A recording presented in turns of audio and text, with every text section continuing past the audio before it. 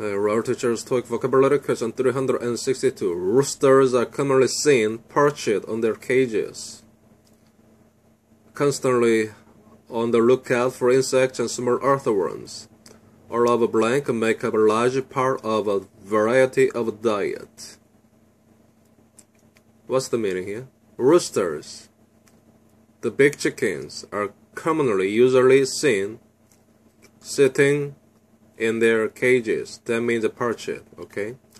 And that they are constantly on the lookout and that they are constantly looking for some insects and some earthworms, which they need to eat.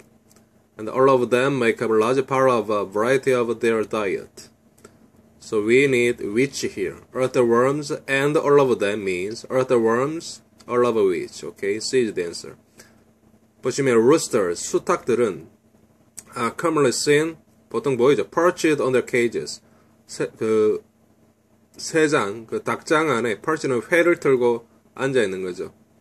constantly on the lookout, 계속 찾고 있는 거죠. for insects, 곤충과 and small earthworm, 작은 지렁이들을. 쉼표가 있죠. 쉼표는 and 역할을 못하죠. and가 있으면 and all of them 하면 되는데 and가 빠지면 which로 바꿔야 됩니다. insect, small earthworms가 사람이 아니니까 which. 사람이라면 whom을 써야겠죠. all of which 그리고 그것들 모두가 a, 차지하는 게 large part of a variety of diet. 다양한 식단의 많은 부분을 어, 차지하고 있다. 그 수탉들이 먹는 그 음식에 라고 보면 되겠죠. 오케이.